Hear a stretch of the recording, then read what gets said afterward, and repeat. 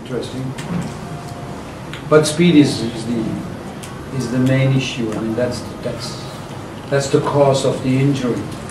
It's like in a car accident. If you drive 150k or or 30k, the impact is different. Quite big.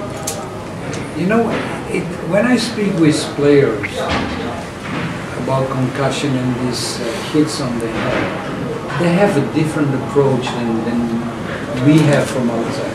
It's really strange.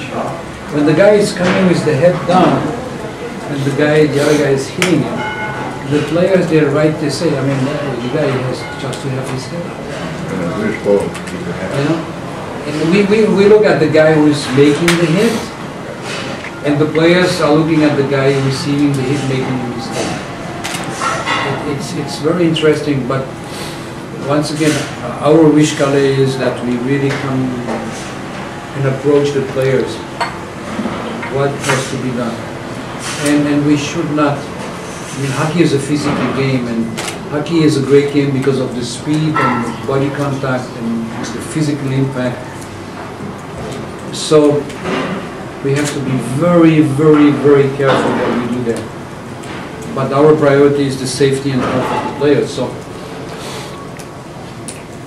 it's very difficult. But once again, if the question here about the violent game, this is really the task of the referees, coaches, and the league and the federation to control that. Because we have the rules to fight against violence, hundred percent. Kick them out.